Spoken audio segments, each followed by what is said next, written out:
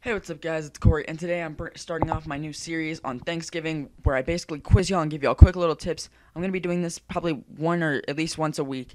And guys, this this episode is all about choice and who do I get with my Predator missile.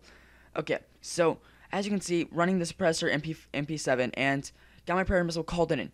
Okay, so which guy do I get? Do I get the guy at A that is in the building with me? Do I get the guy at B over by the well, or do I get the guy at C that is kind of covered by those buildings, but he's right where I just ran at? Okay, guys, so leave your answer and basically tell me if you get it right or wrong in the comments. Okay, guys, here we go. So as you can see, I went for the guy by the well. The guy over at the C guy was a lot harder to get, and the A guy. This is why I didn't go for him because I figured, you know, I can go behind him. He has no idea I'm here with my suppressor. So, guys, basically, got my attack helicopter. And guys, this has been Cory. I hope you're enjoying this